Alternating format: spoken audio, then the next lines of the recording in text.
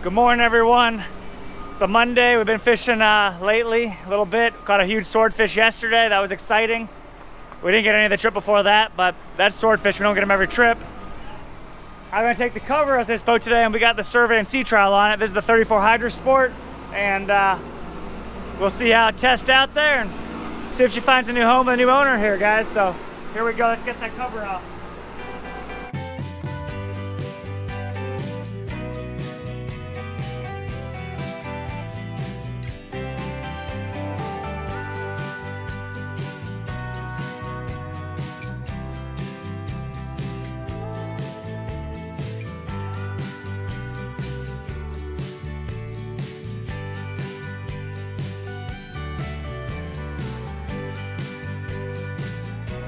Good to meet you.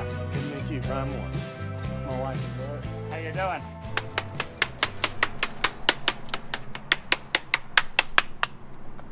That sound, all right? Sounds good. Sounds the good. way we like to hear it. Your name was Matt, right? Yes, sir. From Hobe Sound? I am. Awesome. What's your business name? Knoll Marine Services. All right, you guys, if you want to get a survey done, that could be your guy right there. It's got the moisture meter on right there, right? Yep, that's what we're doing. I don't hear it going off, so that's good. Oh, by the door.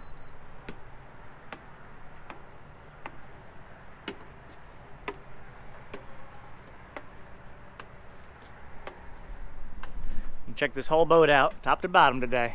See how she looks.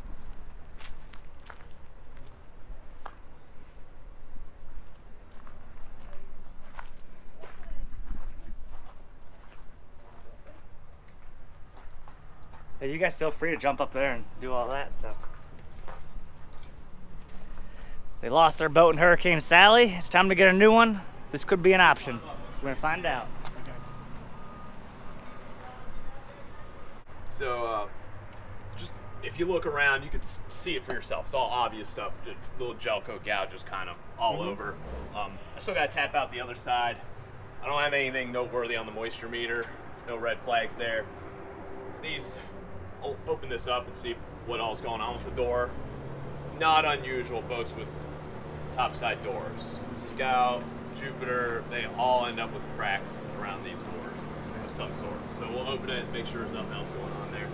I'm fairly positive that's from the forks on the dry stack forks. They line up. All these scuff marks are from the forks. Do I anticipate a catastrophic structural failure because of that?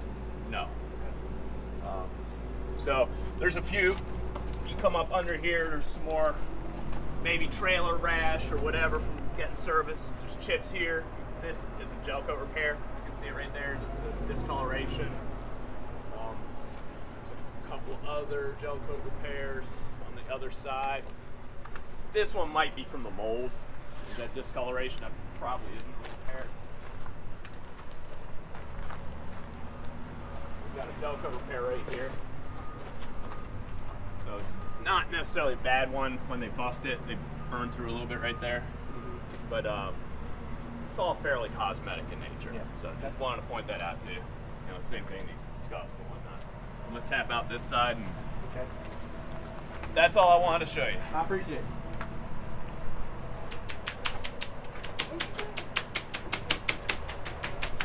All right, so you can hear Matt there. Some gel coat repairs.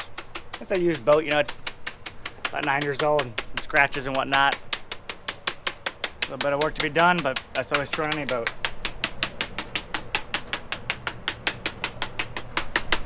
Next step, we're gonna pull off all the cowlings there, check the motors out, little visual inspection, making sure there's oil in them all.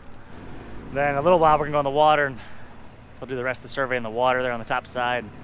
Hopefully do a sea trial here and uh, see how everything turns out.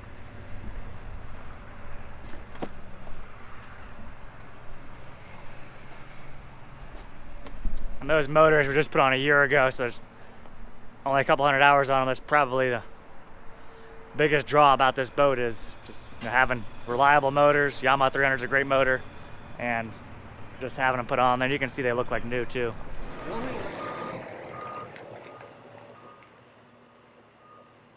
And the owner was selling this boat because he got a new boat. He got a 42 Freeman, which came a little sooner than it was supposed to, and he had repowered this one in January last year, and that was the reason why I planned on keeping it for a few more years. But uh, the new boat came a little quicker than I expected, so.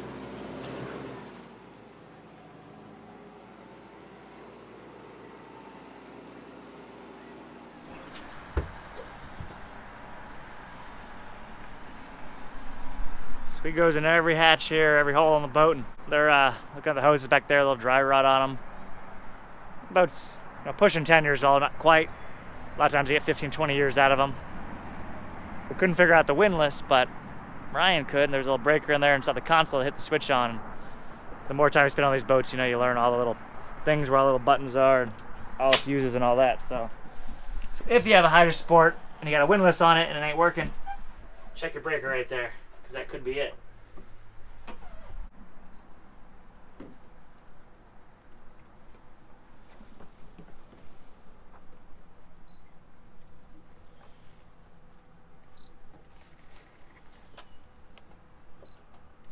Going from that pump to the live well pump to the raw water. That one. So there's a few hoses they're going to change out in the back there if they get the boat. Um, there's one bad battery. That's my favorite boat there, a Freeman, a 42. Maybe one day I'll get one. Charters have been going good. Life is good. 2021's been good for the most part. We'll see you guys then. Bye. See you guys out there. I told him the next YouTube video we make, we're going fishing though. This guy, Oh yeah. So we're going to do our sea trial now. Matt's been working on the survey. You see how these lights are on here now. One light's out right here. Little thing like that. See that there? A few little things so far. Nothing too major, doesn't seem like. Let's see how she runs though.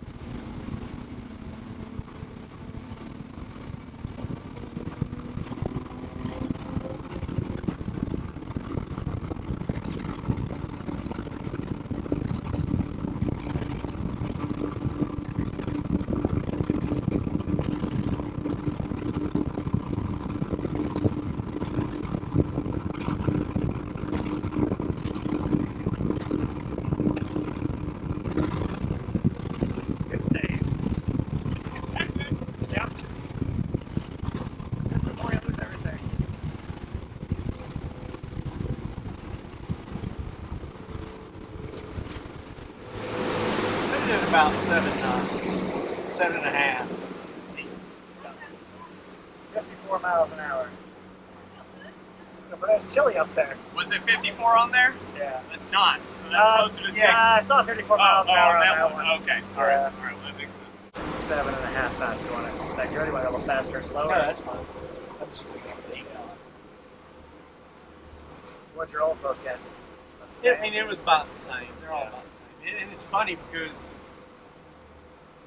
the 3500 VX with the cabin in the front and the tower, it's about the same fuel mile, Really? Mile per gallon, right? mile a gallon. Yep. Yeah. Your sea condition over there is definitely different than ours. I think you guys got like a tighter wave period a lot of times, right? More chop. Chop, yeah. Where we Yeah, get you- like that swell from the east wind, you know. And checking out the trolling speed now. We got a 54 miles an hour on the pins. Going through everything else. For better or worse, usually of structural. So it's a lot of a lot of cosmetic kind of maintenance that things stand out. Other than that, it's all there. Buying newer engines. What looks to be a decent haul. Okay. I mean, what do you recommend? Well, my issue is going to be the biggest issue is this. Because if this doesn't fold, I can't get this folded down. I can't get it back to Pensacola. It's it's a mute point. Yeah. well, I'm Um, sure it now, comes off for it- transport. It looks like to me it's got hinges. Alrighty, Get so to a boatyard, they pull it off. tower's a little tricky folding it, so he's debating whether or not, you know, to get the boat, because you can't trailer it that way, but you could run it up the coast there, so we'll see. So we're back at the marina here. They're thinking about the boat there. We just did the survey earlier. The guys were super nice, you know, putting the boat in out of the water, so got a little bit of that pumpkin swordfish. want to give that to them as a thank you. There's a couple of nuts and uh, a couple of bolts stuck in the tower there that hold the tower. Got some blaster there. Gonna hit it with some PB and let it soak there. A little penetrating catalyst. See if it'll help uh, loosen up those bolts there. We get that tower to fold down here in a few minutes. You eat that, right? Oh yeah. All right, enjoy it. Yeah. Um, I'm just gonna spray some of this on a couple of bolts on there, and then I'm gonna leave. Okay?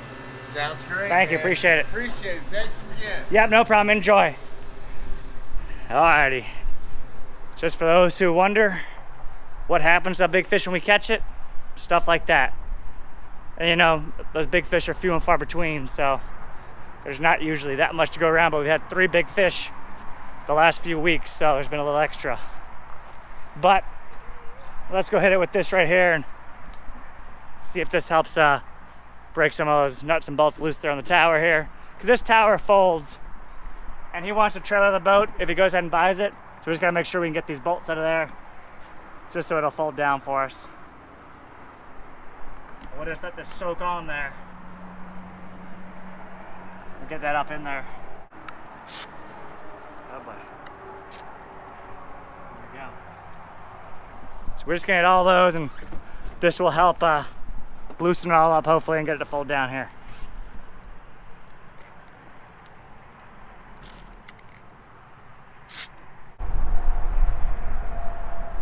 So we hit that with some PB. We're gonna let it soak in there and you'll be amazed what that stuff does. You got a bolt that's stuck. You got a good chance of getting it out when you hit it with that and let it soak. What's going on everyone? We just finished the deal on that 34 Hydrasport and uh, they just picked it up. So Tom was the original owner there. He helped break down the tower, get it ready for transport. So we really appreciate that.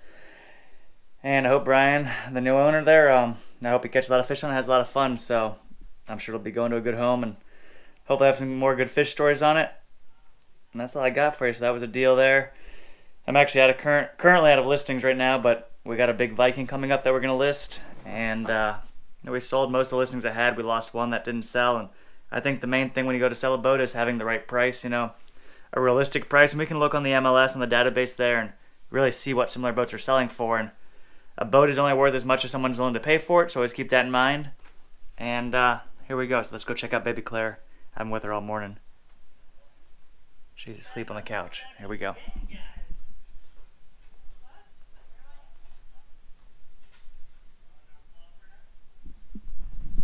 So hope you enjoyed that video. That was the sea trial and the survey and all that of that Hydrasport. Hit that like button, make sure to subscribe, and we'll see you guys next time. We're signing off. We're getting ready to go change the oil on the boat and uh, get ready for some sail fishing. Here we go.